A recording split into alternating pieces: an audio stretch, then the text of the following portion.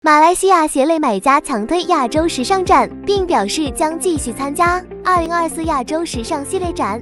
Hello everyone, I'm Vivian and I'm the managing director of Infinity, a recently established footwear brand in Malaysia. Now running this business with my sister, Vynncy, who is the founder of this brand.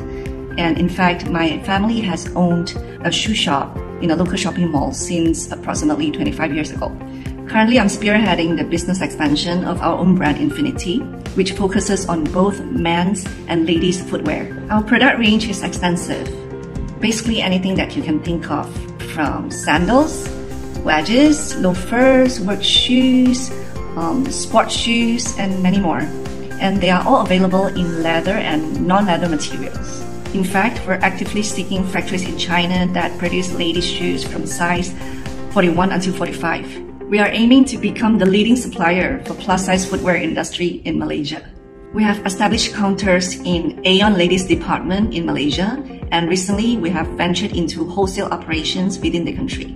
Our strategic direction is to expand our brand and penetrate neighboring countries such as Singapore, Brunei, Thailand, and other Asian nations. Fortunately, this year, uh, in July 12 to 15, me and my sister, which is my partner, we participated in a fair organized in Thailand, which was the Asia Fashion Fair.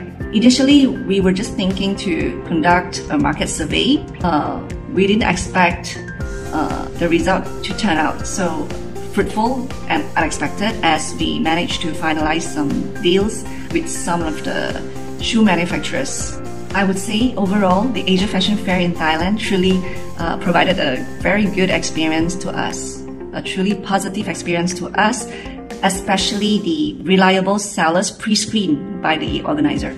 So we didn't have to personally fly to China for special sourcing because we found what we wanted directly from the Asian Fashion Fair. However, we recently did visit China. We paid a visit to some China manufacturers that we had deals with we engage in some detailed discussions with them and place additional orders. We'd like to extend our gratitude to the Asia Fashion Fair for diligently doing the groundwork on our behalf.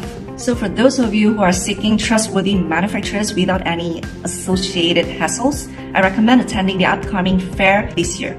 Wishing you a hassle-free experience if you decide to attend. Thank you so much.